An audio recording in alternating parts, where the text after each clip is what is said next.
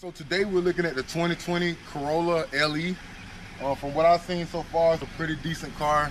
Drives pretty well. For today, I'm going to be showing you guys some of the things that I like and dislike about it, doing a quick rundown of the vehicle, and I'm hopefully get a small test drive in there for you all. All right, so we're going to start off looking under the hood. Um, this car has a um, four cylinder. It gives out about maybe 140 horsepower. That's not the most, but it does pretty good. I'm gonna give you guys a quick look.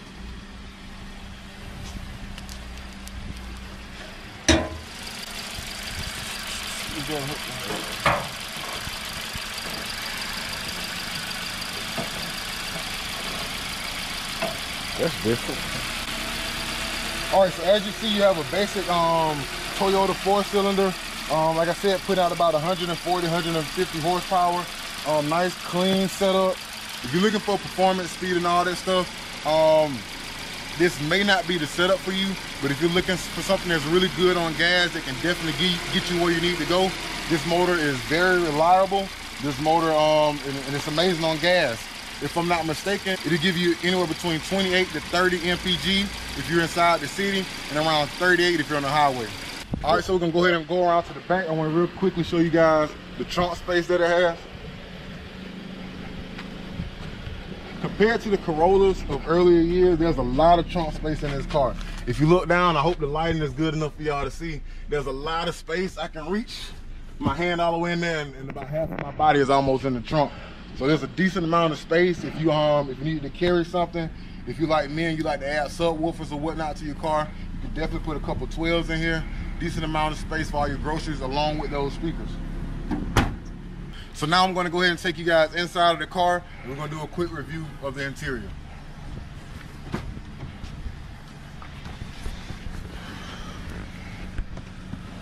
All right, so now that we're in the car, the first thing that I wanna start off with is the gauges. The gauge cluster is nice, simple. You have your RPM on the left, your speed in the middle, as well as your um how much gas you have left in the middle. What I like the most is this little is this little section right here. You kind of see them on a lot of cars now. It tells me um, how much distance I have left with the current amount of gas that I have. It tells me my current gas mileage as well as the time and temperature. I can use this button right here to kind of shift through what it does. Tells me my distance to empty, how many miles per hour I'm, I'm currently traveling and all that good stuff. Um, like most cars, you can change the settings for the vehicle up here, um, whether it's lane departure, lane um, assist, and all that good stuff. But I'm not really going to get into that for this video because um, being that it's a Corolla, this is for the most part um, a basic feature in most cars today. The next thing is the um, is the media screen, the head unit. Um, as you see, it's pretty big. You can see it really well. It's real easy to navigate as far as audio setup, functions and all that stuff. Um, really simple design. If you get this car, just spend a little few, if you get this car, just spend about maybe two to five minutes before you take off, kind of trying to figure this out and, um, and you'll be just fine.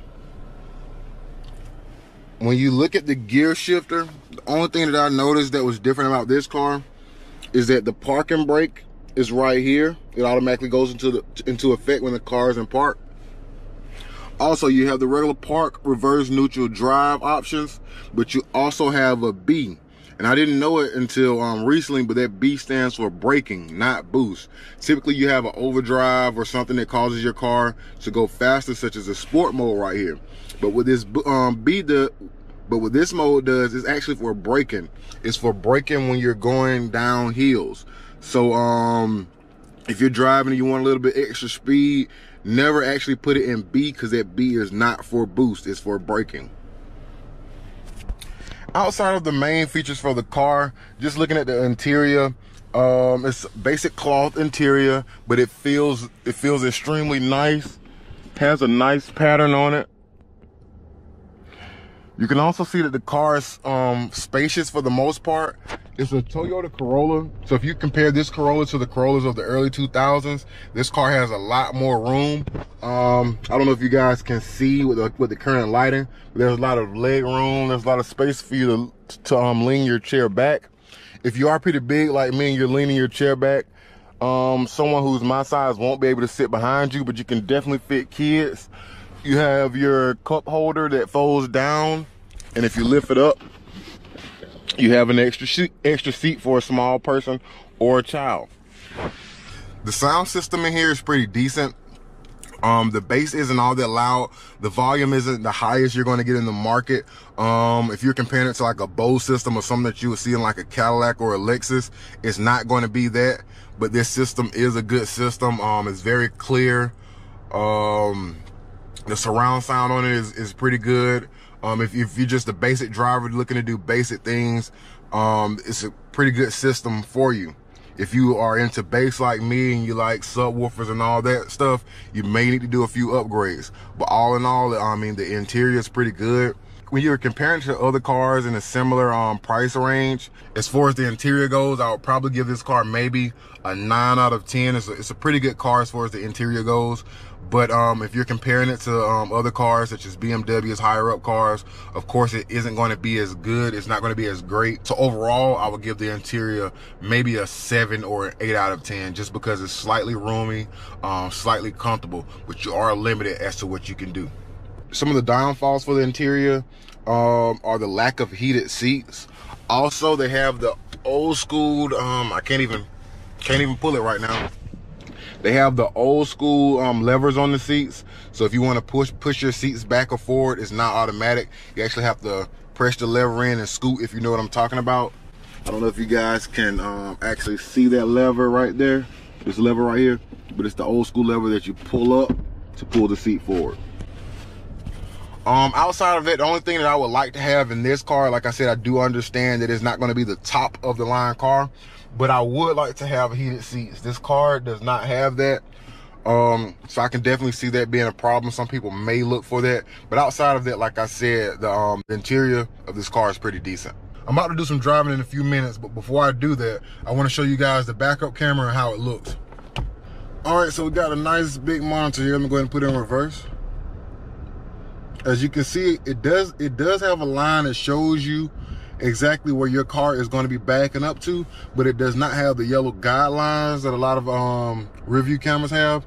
They kind of anticipate that where you're going to be going based off where your wheel is turned. Um, if you've seen it in the past on some of my videos, it'll have like yellow lines that come here or here and they move as you're turning. But just so you guys can get a quick look of how it looks in the camera, the picture's not too bad. Make sure nobody's coming. Picture's not too bad but you do not have those guidelines showing you where the car is going to be going. You only have the blue line. Excuse my backing up skills. I'm trying to hold the camera back up and look at the same time in other directions. But yeah, for the most part, that's the camera. I don't know if you guys can see it right now, but the quality isn't too shabby. Um, you can definitely see what's back there. I have seen better, I have seen worse. So this is decent. Um, but before I give you guys my overall opinion on the car itself and the rating of the car, I do want to go ahead and get this test drive out of the way so I can give you guys a more um, a more accurate depiction. Do keep in mind that I have been driving this car all week, so in my mind I kind of already know, but I do want you guys to kind of see um, at least a little bit of what I've been experiencing with this car.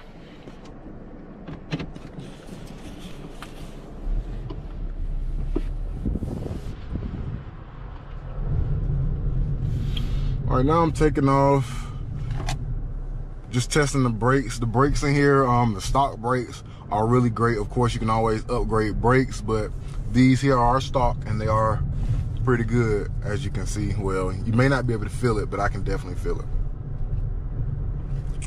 Um,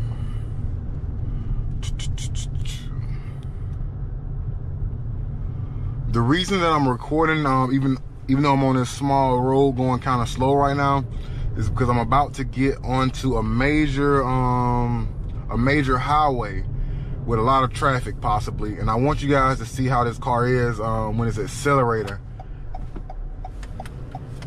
You know, just day-to-day -day normal activities. So let's see here. Like I said, this is not the huge All right, luckily that call didn't um, get in the way of what I was trying to do. could already went though. But as you see, this road is rather packed and I gotta get out of here kind of quickly. So the camera might be a little shaky, but I want you guys to see and hear how the acceleration goes. Here's my moment. And this is pedal to the floor. So with the pedal to the floor, I'm not getting all that far. As you guys see, the acceleration is kind of slow in here. But like I said, this is a great car. You're um you're giving up that trade-off on power for um, more miles per gallon, um, a cheaper vehicle, and all that good stuff. All right, so I'm gonna end the video on at least this section of the video right here because I do not want to get pulled over, and I'll um, I'll get with you guys in a bit. All right, so while I'm riding through the town, I guess I'll go ahead and give you guys my personal um, opinion and rating on the video. Um, if you're looking at like smaller cars, um, small Hondas, Honda Civics, um, Corollas and things like that, um, compared to the past and the cars that are available in that class right now, um, I'll probably give this car maybe, maybe to be honest, about an eight or nine out of 10. Um, it's not the top notch of, um, you know, cars. It's not a BMW, it's not a Mercedes, but it's a well-built car. It runs nice. It's really great on gas. You are trading that gas mileage off for a bit of power, but the car is still a really great car. It's kind of roomy if you have a family, a small family or anything like that. Um, if you need to go on a road trip, I can definitely see this car being um, pretty decent.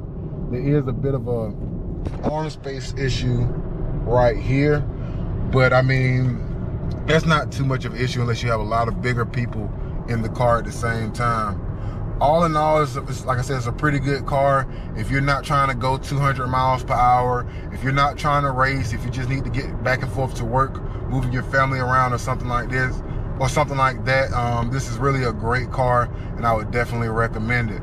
Um, if you haven't already tell, if you couldn't already tell, if you couldn't already tell, this car is um, if you couldn't already tell by all the no smoking signs, this car is a rental. Um, it's definitely one that I would get again in the future. It's definitely one that I would get again in the future for the um, for the reasons that I just mentioned.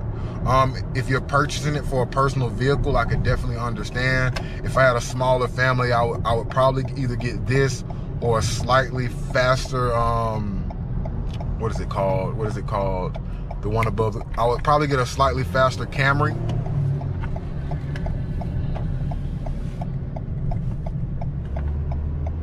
my fault, y'all. I'm watching the road.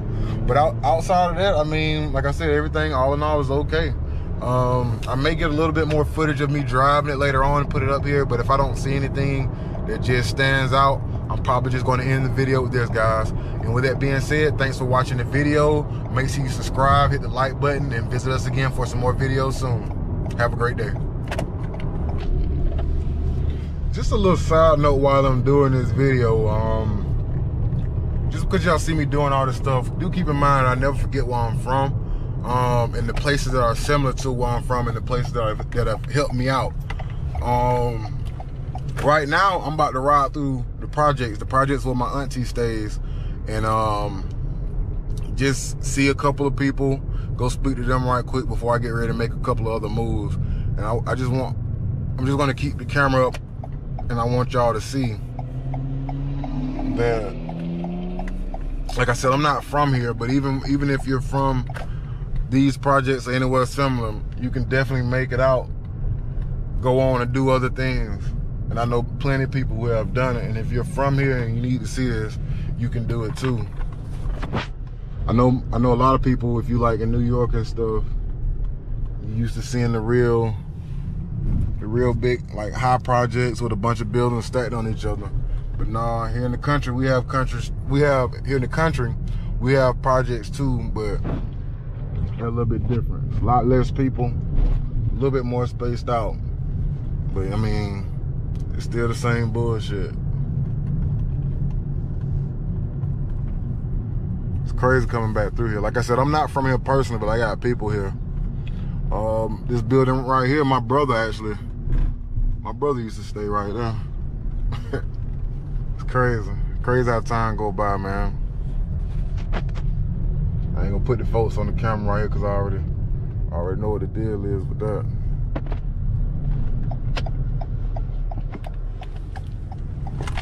Country projects, y'all. And if you're from the country, you know exactly what I'm talking about. Exactly. Like I said, um, yeah, at this point, I'm, I'm, definitely about to end the video. I'm just about to link up with a couple of my people and my auntie and all that good stuff. Speak to them right quick. And I'll see y'all guys on the other side. We got a bunch of new videos coming soon.